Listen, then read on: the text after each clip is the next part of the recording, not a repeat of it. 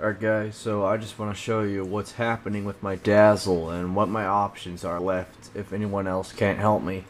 So, here's my Dazzle. As you can see, it's on. The Nintendo Wii is plugged in and it's plugged directly into the Dazzle so there's no bullshit with splitters or anything. So there shouldn't be any interference whatsoever. Alright, so let me just get up Pinnacle Studio. And let me uh, see.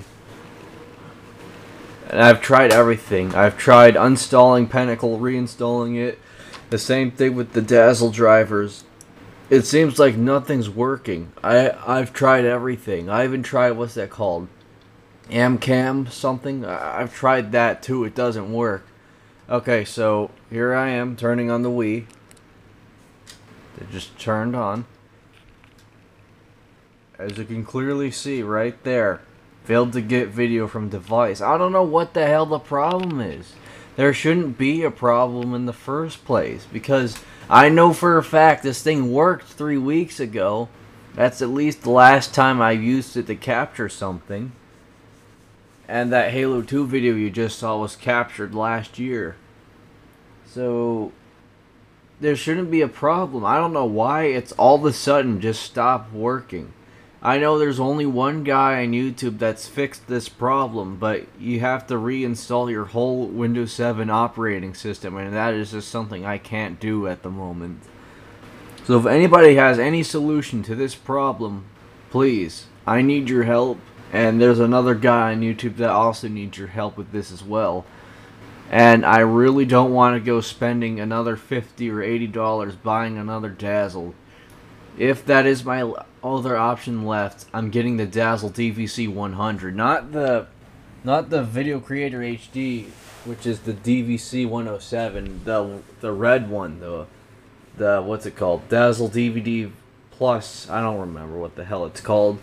But anyway, I'm going to have to resort to that if this doesn't work or if anybody doesn't come up with any ideas. Here's what I've tried so far. I've tried unplugging it from the USB and plugging it back in. Doesn't work. The Nintendo Wii is obviously plugged in and is obviously on and is obviously trying to send signal through the Dazzle, but for some reason it's not picking it up. And I take perfect care of my Dazzle. I mean, I know it's been sitting for weeks. I don't know how long, but not being used. But still, there shouldn't be any sort of problem. And I didn't I don't have my receipt from Best Buy, so there's no way I can return it. And I read on Pinnacle that this thing has a two-year warranty, so I might be able to get do something with that. Now, other than that, already tried reinstalling the drivers, didn't work. Tried unplugging USB, didn't work. My game console's directly plugged in here, that still doesn't work. I don't know what it is. This shouldn't be happening. This shouldn't be possible. If anybody has a fix to this, please, for the love of God, tell me. Thank you.